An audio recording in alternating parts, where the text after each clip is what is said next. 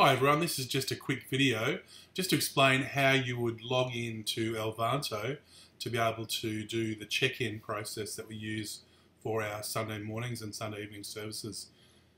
If you don't know where to find Elvanto or you don't know the shortcut on the device you're using, um, you can always go to the church website as you can see here and down on the uh, bottom right hand corner you should find this uh, Elvanto image here. If you just click on Elvanto, it'll take you to our sign up or sign in page um, where you can click login and uh, you can see here it's already put my details in but so long as you've got a username and password you can log in there.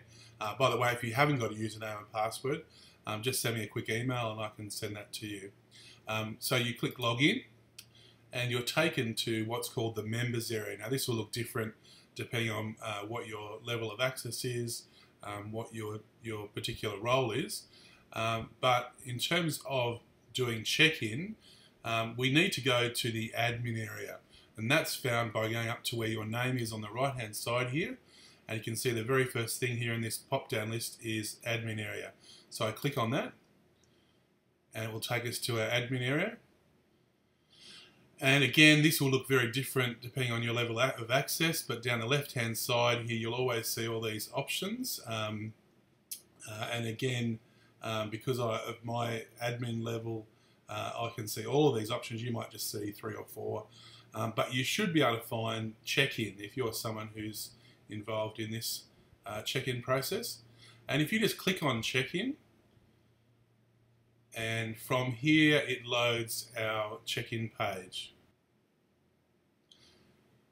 Now the check-in page um, has three buttons up the top right hand corner here um, if you are on a computer that is connected to a printer. So um, the blue one here, Start Print Station, is what you would choose if you were on a computer and you were needing to set up the printer so that other devices could access it. And to do that, you just click Start Print Station and you choose a name for the printer depending on where it is. Um, so in this example, I would be in the old church hall and using that printer there, so I'd click that. It then starts a, a printer page in the background and we go back to our initial page and it's now probably a good time to click self check-in um, which will change the screen so that um, people who are using it um, are not seeing all of your login details, but they're just seeing the sign-in screen. Um, so if I leave that on external uh, keyboard, that will mean that it's using the keyboard that's plugged into the computer. And I say continue to that. And he can see that now it's set up ready for people to check in um, on the computer. If you're using a, an iPad, um, it's a little bit different. Uh, I'll go back to the login area, um, the admin area I mean, and if you're on an iPad, um, when you came to this page on the iPad, it would have given you the option to choose a printer.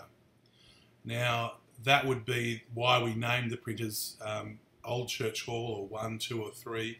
Um, you would just choose the printer then to which you want to print to and then go to self check-in on the iPad. So that's the only difference. So on a computer, you choose the start print station and decide which what name you're going to give your printer. And if you're on an iPad, you choose um, just the name of the printer that you're going to be printing to when that pops up on your screen. Um, all right, I hope that's helpful. If you need any um, questions answered, please don't hesitate to ask me.